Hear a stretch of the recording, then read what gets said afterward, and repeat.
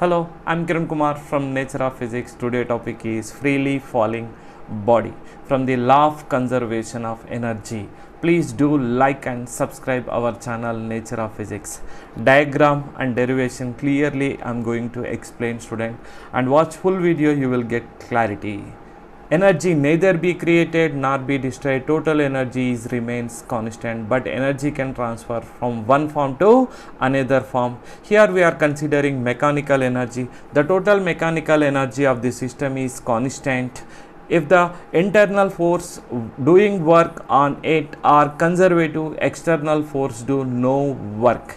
See student considering a ball of mass m at a height h from this ground. This is the ground and freely falling body initial velocity is equal 0 this, so we are going to find the mechanical energy at a point a that is highest point and b midpoint and c ground level student. Okay?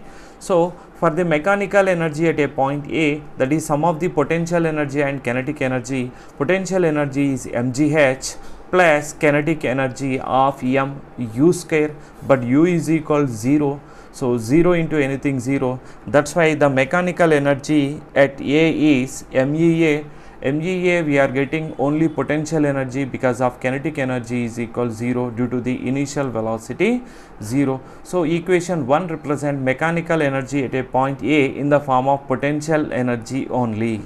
Next, the body reached the B position. Here the mechanical energy considering as sum of the potential energy and kinetic energy. Due to the velocity, the body getting the kinetic energy and due to the height, the body have the potential energy. Because of A position to B position, it is traveling downward direction. That's why A is equal plus G. S is the displacement from A position to B position. So that remaining B to C represent the value is H minus X student. H minus x represent the height for the position of the body at a point B student. So that here mechanical energy sum of the potential energy mg h minus x because of height is h minus x and kinetic energy is of m vb square student and here also representing mechanical energy at a point B is EB student EB is the sum of the potential energy and kinetic energy. So that from equation V square minus U square is equal to AS formula using student. From A position to B position values considering for this equation U is equal to 0 freely falling body A to B clearly written here.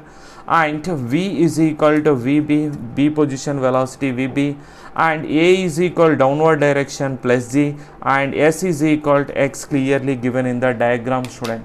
Now the values are replacing in the above equation so that we will get here VB square minus 0 square is equal to G X student.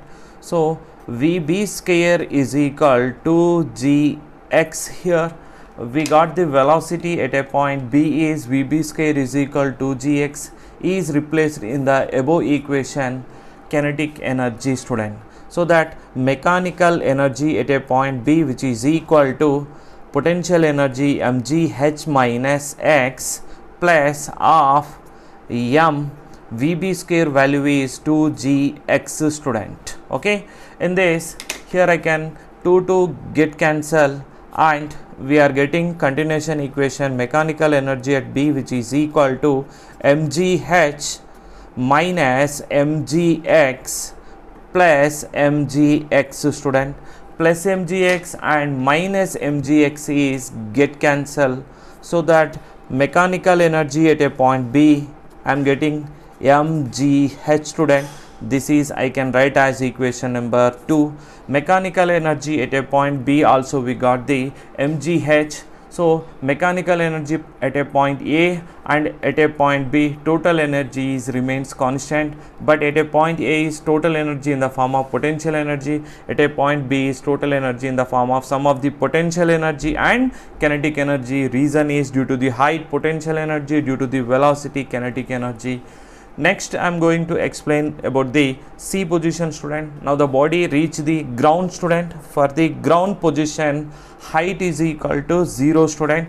Whenever height is equal 0 potential energy 0 and the body reach the ground with a velocity vc final velocity. So that kinetic energy is of m vc square. So here i am getting mechanical energy at a point is c is equal to potential energy 0 plus kinetic energy is of m vc square. Why potential energy 0 student? Height is equal 0 so that potential energy also 0 here i am going to write first equation already written there.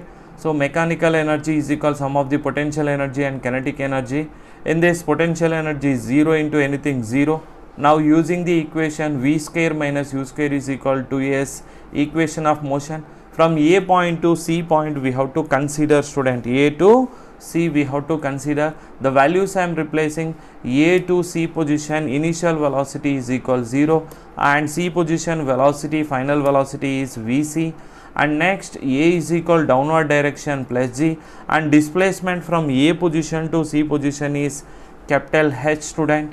These the values are replacing in the above equation student. So that replacing the value VB sorry VC square minus 0 square is equal to G H student. S is equal to H clearly written the values. Replacing in the V square minus U square is equal to S.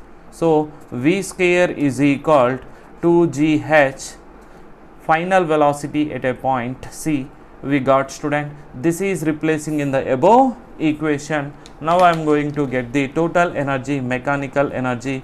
Mechanical energy at a point C potential energy 0 plus of m v square vc square value is 2gh okay student? 2 2 is get cancel mechanical energy at a point c which is equal to mgh i am getting. This is equation number 3 student. Okay so, energy neither be created nor be destroyed. Total energy is remains constant at a point A mgh at a point B mgh at a point C also mgh but one thing remember student at a point A total energy in the form of potential energy. At a point C is total energy in the form of kinetic energy.